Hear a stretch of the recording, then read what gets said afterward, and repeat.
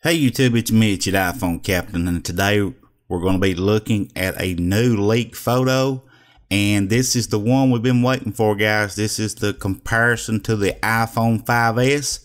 So let's go ahead and get some photos up on the screen here for us to look at.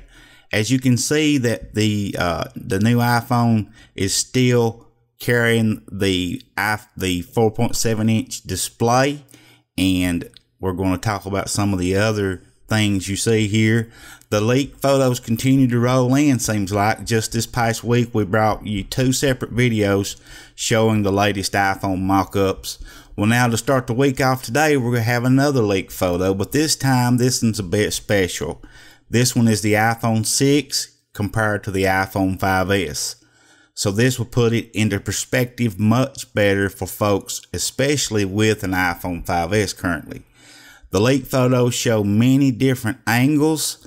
So let's take a look and see how true iPhone 5S compares to the iPhone 6. And one of the beliefs that everybody's thinking we're seeing so many leaks is because uh, several case companies try to get a jump on on the uh, size and shape of the devices so they can have their cases ready and other accessories are, ready for the market when the new iPhone launches.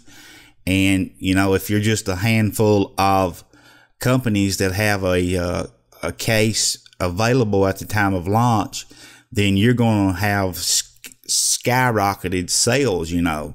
So I believe that's one of the reasons we're seeing so, much, so much fighting and clawing for this mock-up photos we're seeing, you know, so many of. Now, this is only my opinion It might be completely wrong, but that's my way of thinking about it. Uh, what do you think? Let me know in the comments. The iPhone 6 in the photo you see here still is appears to have the 4.7 inch display. The power button has been moved to the side of the device. It has a two uh, a new back three stage design it's thinner and it has new volume buttons. What do you think about the new iPhone 6 in comparison to the 5S? Do you believe these photos are real?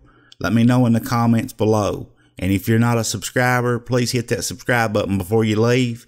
We'll keep you updated on all the latest iPhone 6 news. Share this on Facebook and Twitter, and keep coming back.